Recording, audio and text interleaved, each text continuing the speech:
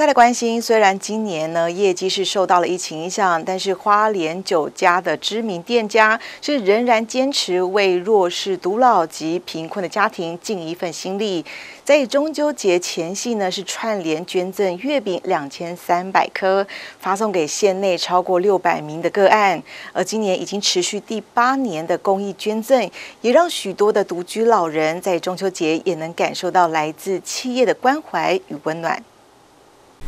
月圆人团圆，阿布多治国工坊、杜伦先生、吴家饼铺、丰兴饼铺、花莲馅饼、麦士多欧式面包、阿美麻薯、理想大地，还有回南蜀道等九家花莲糕饼名店，今年在疫情冲击还有中秋出货繁忙之际，还是不忘爱心助老，坚持为弱势独老制作美味的月饼，要祝长辈们佳节愉快。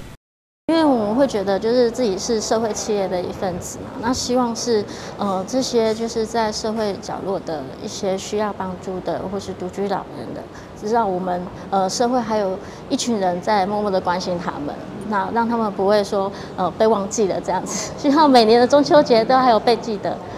对，希望他们可以感受到呃社会的温暖。当然也很谢谢，就是老家协会这群志工的一直不断的付出。那我们也希望可以尽自己一己之力，然后一起来共享盛举。这样，花莲老家协会荣誉理事长杨杰代表接受了这一批爱心月饼，也向业者们致上无尽的感谢。今年因为疫情的关系，真的，本来我们原本会想说可能会受很大的影响，但是万万没想到，我们原本这历年来赞助我们的这九家的名店。仍然很愿意来帮助我们老大人，透过我们老家协会把这些月饼物资来转赠给他们，让他们感觉中秋节还是有很多人关心他们的。除了有月饼之外，呃，关心可能对他们也是非常的重要。我们这些月饼大概服务的对象有六百户的个案，那遍及整个花莲县，那我们的职工会